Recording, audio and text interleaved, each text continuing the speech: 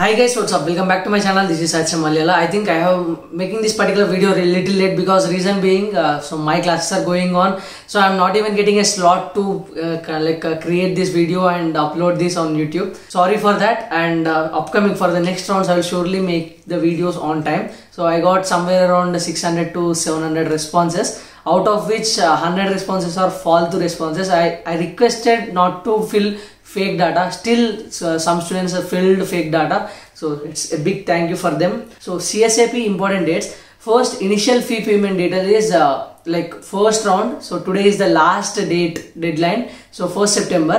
And uh, i think uh, most of you already paid the fees uh, till 5 pm it was there.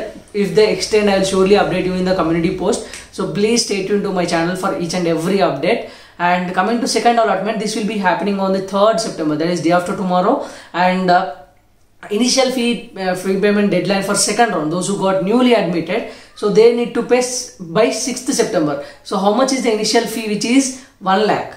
So if we don't play if you or if he or she after allotment if they don't pay 1 lakh rupees their seat will be rejected on their name. So their seat will be cancelled on their name. So they can't uh, get that seat back. So they should pay the initial amount before the deadline itself. So previously the deadline was 31st August but they extended to 4th September 5 pm. So if at all they will extend another uh, 4 to 5 hours again so I will surely inform you guys. And the remaining fee, fee remaining fee deadline. So what is meant by remaining fee? So for example if the student got allotted in slab 1 or 2 so and so fees example total fees is 2 lakh 50,000 out of which 1 lakh is uh, the uh, initial fee and the remaining fee is 1.5 lakhs right? So that remaining fee should pay it by 8th September. Then only like that particular seat will be there on his or her name. So you should be like uh, uh, completing that particular process by 8th September for both the rounds first round and second round students and the final allotment will be on 11 September. If at all you miss that 8 September uh, remaining fee payment,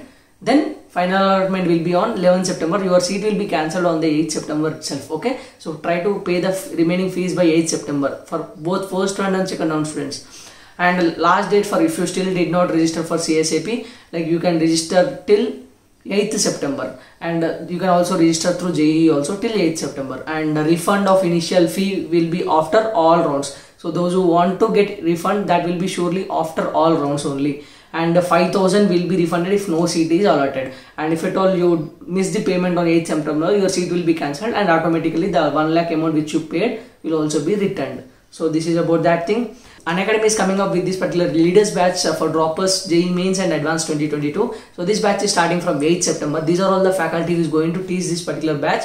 And uh, if you want to enroll for this particular batch, you can use the link in the description. And you so you can use my code CharanYT for which you will be getting 10% instant discount on all subscriptions of Unacademy. And you can also follow me on Unacademy profile so that whenever I take some strategy sessions, you will get the notification. And Unacademy has come up with this new initiative for all those who take the subscription voice chat. So those who take subscription, they can enable the voice chat in the class and ask your doubt to the educator then and there itself. So which is a really good initiative which will really help the students who take the subscription. So if you want to subscribe for Unacademy, do use the link in the description and also my code CharanYT for 10% instant discount. So before seeing the cutoffs, what I want to say is these cutoffs are not official and the data is uh, approximate data which is collected from the Google uh, forms as you all know and these are subject to change. And one more important thing, majority movement in cutoffs will be happened in uh, second round. So reason being, so first round everyone paid 5000 and they attempted. If you see those those who got allotment, so they need to pay 1 lakh before the deadline. So what students think is 5000 is a like small amount when compared to 1 lakh. So majority students will drop here paying this 1 lakh rupees. So here now um, i like according to my experiences from different different counselings so whenever they ask for the payment majority students drop drop, drop out so this is where the movement in cutoffs will be happened. So hope so each one of you get what you desire and what you deserve. So let's see what is going to happen. And the same thing will happen in third round also like in final attempt because before the eighth again remaining amount should be paid. So keeping all this mind so final allotment and second allotment will be crucial. So if you want to stay in the counseling please stay in the counseling and uh, coming to home state cutoffs uh, AEEE and JEE cutoffs I will be showing you. So as already said these are not official and exact. So based on the data I have I have made these cutoffs. So these are the cutoffs for uh, home state AEEE so a triple e home state so you can take a screenshot. And if you love the work i'm doing please do like share and subscribe to the channel. Please please guys.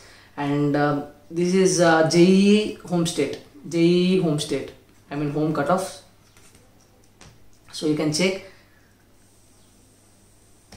And when it comes to open quota so this is a triple open quota. You can say other state quota or open quota okay? So this is the cutoffs. Mm. and when it comes to JEE these are the cutoffs. Open open quota or other state quota. That's it guys. If you find this as a time worthy video please do like share and subscribe. See you in the next one. Until then take care. Bye bye jai hind